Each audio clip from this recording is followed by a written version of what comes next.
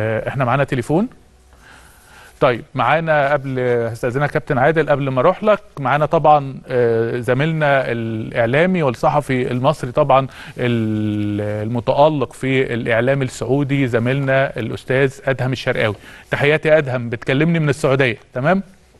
طبعا. أهلا بيك دكتور وليد. أهلا بالكابتن بشير التبعي والكابتن أحمد عادل.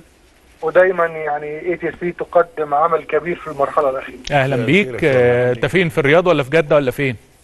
لا في الرياض. أهلا بيك يا آدم. طبعا آه، متابعين كلنا ال- الأمور في السعودية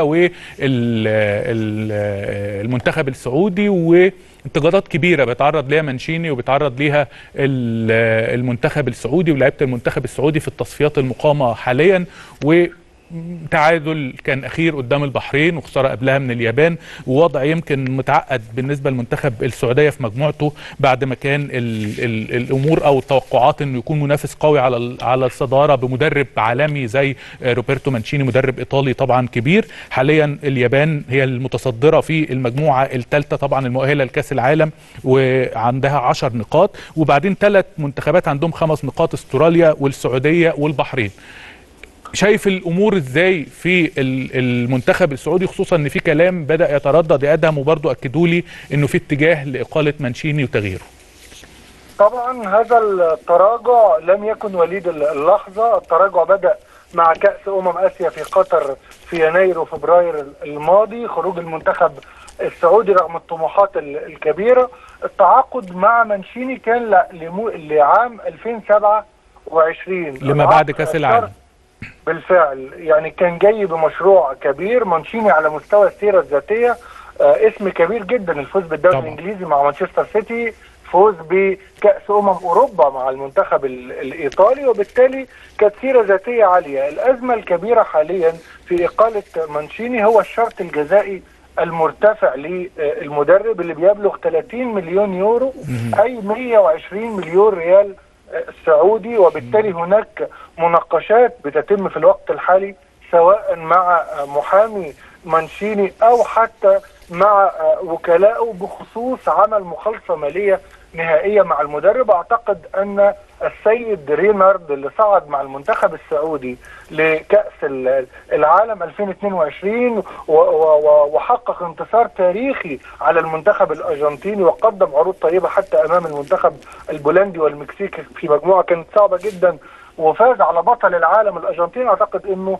آه، سيكون قريبا جدا مدربا مرة أخرى للأخضر السعودي لاستكمال التصفيات. طبعا هناك اتفتح هناك الكلام معاه آه، يعني فعليا يا أدهم. يعني بدأ الكلام مع إيرفي رينار للتعاقد والكلام الفعلي أو زي ما أنت بتقول الجلسات مع المحامي الأمر خلاص منتهي ولا ممكن يحصل تراجع ومانشيني يكمل؟ هو هناك رأيين حاليا في, ال... في الاتحاد السعودي لكرة القدم. الرأي الأول هو استمرار مانشيني آه، حتى 19 نوفمبر القادم موعد مباراة السعودية أمام أستراليا في آه، ملبورن الأسترالية. أو و- ومن ثم سيكون أقرب مواجهة للمنتخب السعودي هتكون في مارس. وبالتالي هيكون هناك خمس شهور أمام المدرب الجديد للتواجد مع الفريق بشكل جيد. الرأي الثاني بيقول إن رينارد اوريدي هو حافظ هذا الفريق وتعامل معاه ومعظم النجوم الحاليين أصبحوا موجودين أساسا في عهده لكن آه، أيضا آه، التعادل أمام البحرين من قبلها الخسارة 2-0 من اليابان من قبلها تعادل مع المنتخب الإندونيسي.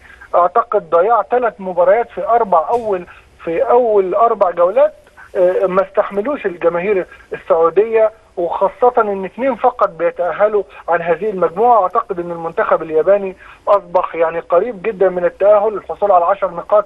في أول أربع مباريات تسجيل 13 آه، هدف وهدف واحد في مرماه من استراليا في اللقاء الماضي. فأعتقد إن اليابان حجزت مقعدا أوليا في نهائيات كأس العالم أمريكا كندا المكسيك 2026 يعني البعض إحنا طبعا متابع الإعلام السعودي والعديد من الإعلاميين والصحفيين والمحللين السعوديين والجماهير طبعا قالت إنه ال... وحتى مانشيني نفسه يعني في بعض تصريحات ليه قال لك إنه في أزمة إنه الدوري السعودي بقى بيعتمد على النجوم وال superstars والمحترفين بشكل كبير. وطبعا ده رفع من قيمة الدوري السعودي كدوري لكن التأثير السلبي كان إنه اللعيبة السعودية ما بتشاركش اللي هم النجوم الدوليين وأكتر من اسم كان متألق مع أندية سعودية ومع المنتخب السعودي بقى حبيس لدكه البدلاء لأنه في مكانه لعيبة جاية بملايين ولازم تلعب.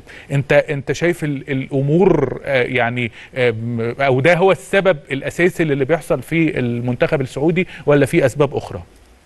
أعتقد ان هناك أسباب أخرى على مستوى اختيار التشكيل وعلى مستوى اختيار حتى توظيف اللاعبين.